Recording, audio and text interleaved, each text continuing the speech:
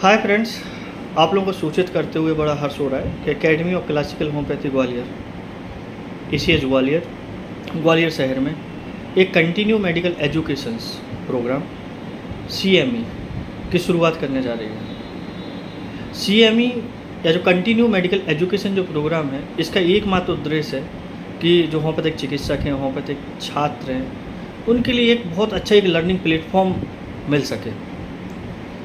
कई जो हमारे जो जूनियर्स हैं होम्योपैथिक जो छात्र हैं, वो जब अपना क्लिनिक स्टार्ट करते हैं तो उनको बहुत सारी चीज़ों को फेस करना पड़ता है।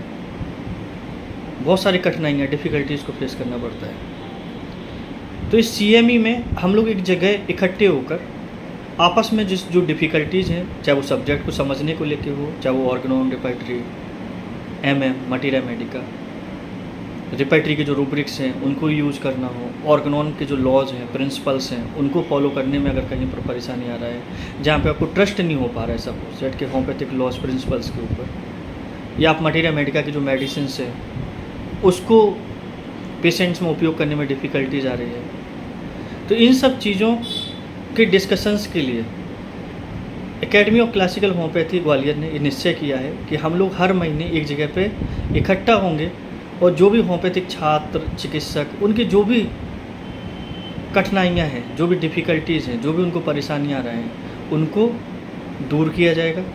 और होम्योपैथी और होम्योपैथिक छात्रों को आगे भविष्य के लिए एज अच्छे चिकित्सक बन सकें, उसके लिए तैयार किया जाएगा। हम लोग का एकमात्र उद्देश्य चल रहा है तो आप लोग इस प्रोग्राम से जुड़ें सी से।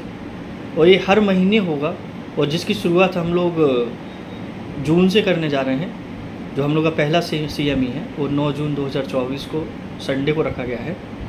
जिसका टॉपिक भी है, कि जहाँ पे जाके एक डायबिटीज़ को लेके कई बार संशय होता है होम्योपैथिक छात्रों में होम्योपैथिक चिकित्सकों में, कि क्या डायबिटीज़ क्यूरेबल है? तो उस चीज़ को लेके एक गहन डिस्कशन होगा, जो कि डॉक्टर जय कुकुरेजा सर हैं, वो ग्वालियर, इंदौर से हैं, जो कि ग्वालियर में अपना ए सी में अपना जो भी उन्होंने कई वर्षों से जो भी उन्होंने स्टडी किया हुआ है, वो अपने जो भी उनकी स्टडी है, जो भी उनके सुझाव हैं, वो उनको आपके साथ में डिस्कस करेंगे। कई लोगों को जो डिफ़िकल्ट केसेस होते हैं सपोज़ किडनी फेल्योर्स के जो केसेस हैं, उनको लेके बड़ा परेशानी होती है कि क्या किडनी फेल्योर्स में होम्योपैथी का कोई रोल है? तो डेफिनेटली होता है। तो एक जो वीडियो केसेस का रिप्रेजेंटेशन है किडनी फेल्योर्स को लेकर या गॉल स्टोन को क्या डिजॉल्व किया जा सकता है।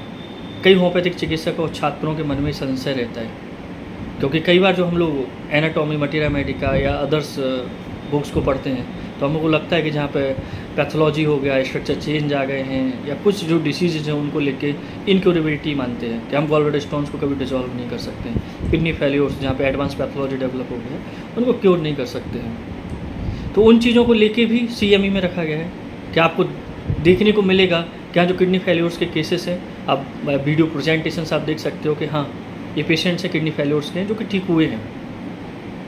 गोल्ड स्टोन्स के जो केसेस हुए हैं, उनको लेके डिस्कशन होगा।